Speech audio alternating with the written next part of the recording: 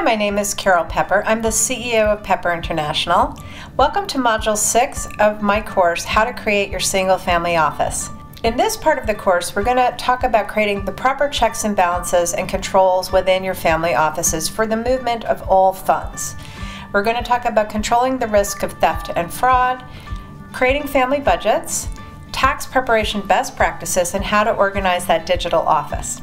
Now it's very important that you start by mapping out all of the processes that you have to do in your single family offices. This can be quite complicated. Some families have lots of real estate holdings, they have various investments, they have various homes, uh, boats, planes, all sorts of assets that need to be accounted for, and cash moving all over the place.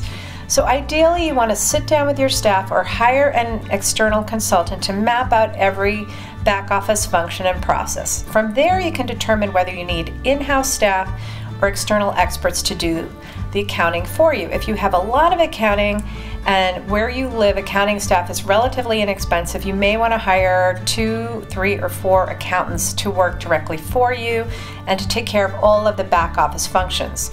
If you have a smaller family office, you may want to outsource this to a professional accounting firm that will provide this type of staff for you. It depends on your budget and depends on where you live and how many countries you're operating in. We will also want to conduct annual audits of all accounting function and particularly surprise audits. This is important to make sure that at any particular time uh, we know exactly what's going on and staff are never quite sure when they might get audited. Cybersecurity is a risk certainly within the accounting and back office functions, so you want to get your IT and cybersecurity experts to look at all these processes that you have mapped out to make sure that everything is secure when it comes to moving funds around for the family.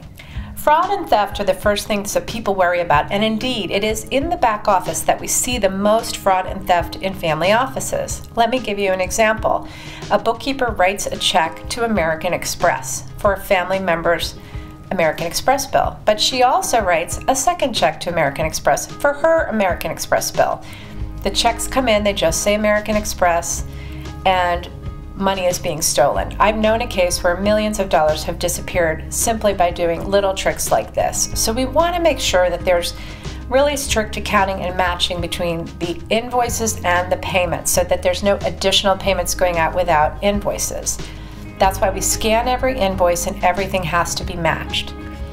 We want to require dual signatures for large wires, uh, perhaps anything over five or ten thousand dollars, to make sure that there are two people who are accountable and not one person could be wiring money out to another uh, country or to a personal bank account. I actually know of a situation where a hedge fund manager had a junior partner, and that person, unbeknownst to the hedge fund manager, set up totally separate accounts and directed the family office to start lending money to him uh, and wiring money to this company. The only way that the company found out about the fraud, because there was so much money in the company, was because he broke his leg and a bank called to confirm a wire that was normally confirmed with him, and suddenly the whole thing fell apart. This was, of course, kept very private because it was embarrassing, but it was also very costly. Luckily, they were able to retrieve the funds but you don't want these kind of things to happen. So always require dual signatures and most principals should be aware of what's happening with any large withdrawals or wires out of the family office.